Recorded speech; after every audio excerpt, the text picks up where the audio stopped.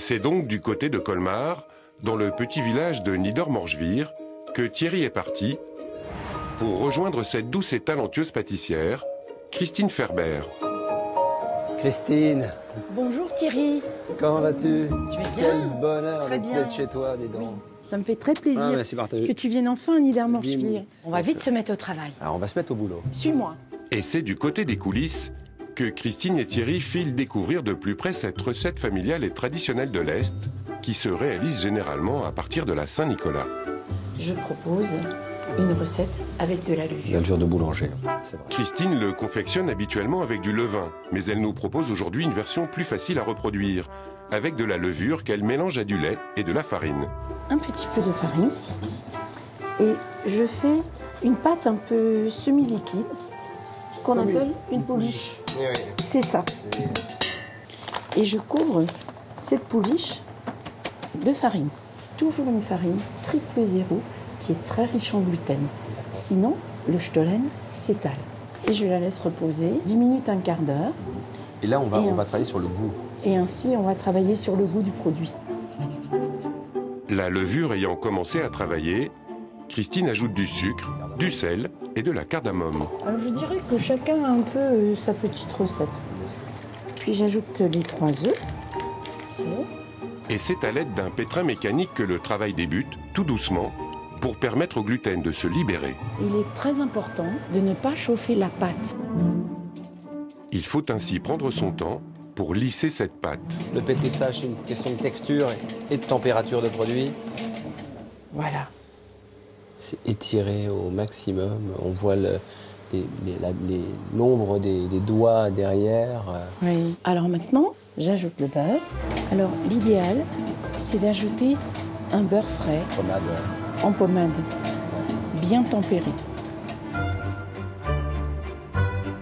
Cette pâte va être enrichie de fruits confits et d'amandes, en lieu et place de l'habituel masse-pain. J'ai donc des amandes en grains, Amande en poudre. amandes en poudre, des écorces d'orange et de citron confites. Et ensuite, je mets les raisins. On les macère, soit au rhum, soit au kirsch,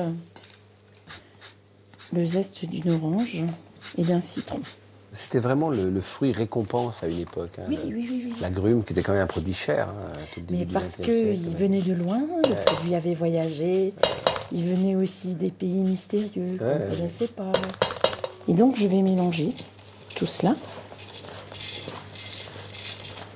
Je vais ajouter tous ces fruits.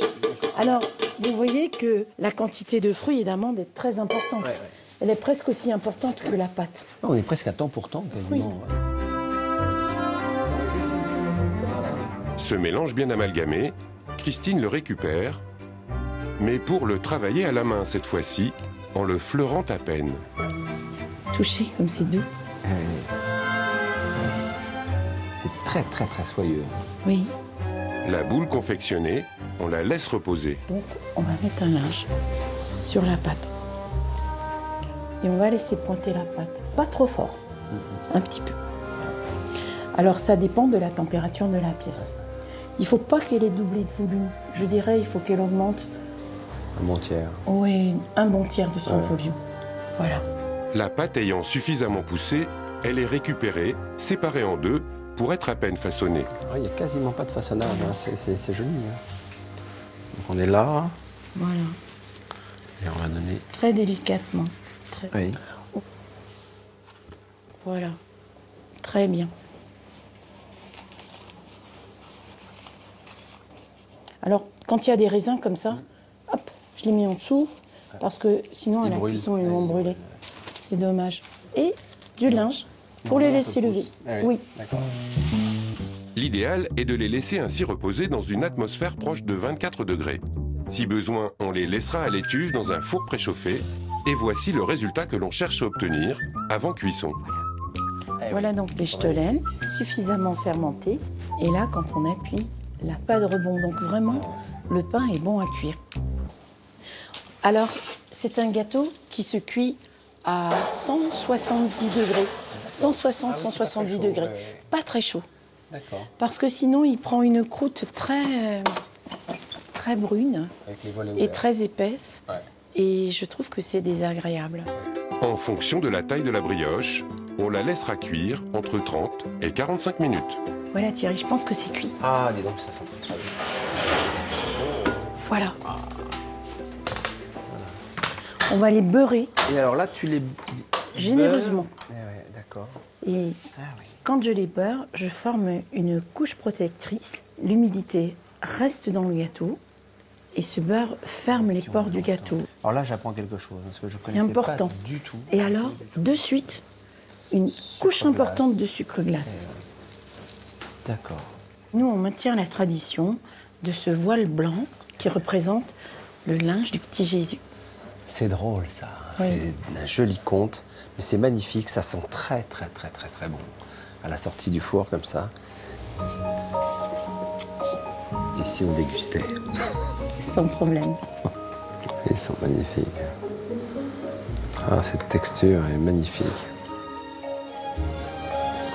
C'est- C'est émotionnellement bon. Merci Thierry. Ah ouais, c'est sublime. Malgré les, les produits qu'on a mis qui paraissent toujours être des produits riches, on n'est pas saturé en sucre. On a le goût mm, de la pâte, on a le goût des fruits confits. Tout ce qui a été mis, tous les ingrédients, on les ressent, qui créent de l'émotion. C'est délicieux. C'était vraiment la séquence émotion. Merci à toi, je t'embrasse. Et à bientôt.